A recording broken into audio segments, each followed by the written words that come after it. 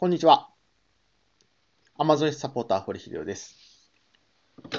今日は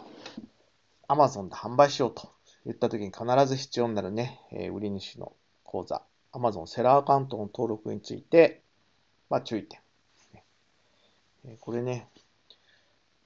まあ、巷で調べるとね、えーそれはまずいだろうというノウハウが結構出回ってるんですけど、セラーアカウント、作ったアカウントを削除するっていうのはね、えー今後も Amazon 室、あるいは Amazon での販売を続ける場合にはやるべきではないです。これは非常に危険。ね。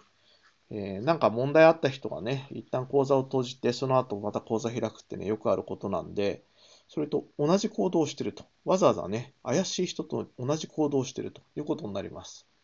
当然怪しいなということでね、えー非常に注意深く見守られますんで、その後作ったアカウントも削除されやすい。あるいはそもそもアカウントが作れなくなったりしますんでね、アカウント作成は途中でやめるのは NG。ね必ず作り始めたら、作り切ると。ですからスムーズに作れるようにあらかじめ何が必要か確認してから、作成するというのが重要です。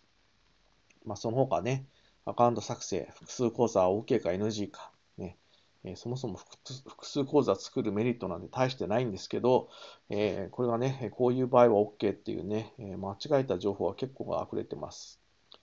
あと、クレジットカードなしでも作れるかどうか。ね、それから、え最近ね、項目増えたアカウントの確認、本人確認。ねえグローバルアカウント作っていらない国は削除していいのか。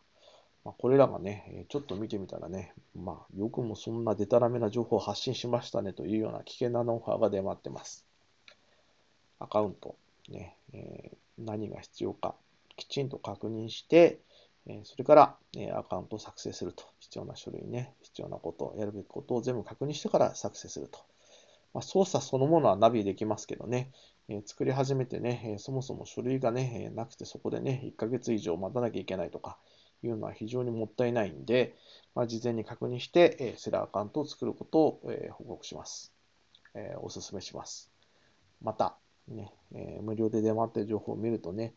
まあインチキ情報多くて、ね、都合の良さそうな情報はかなりね、インチキ情報なんで、あまあ、これでいいやと、だってこの人書いてるもんって言って鵜呑みにするとね、えー後で偉い目に遭います。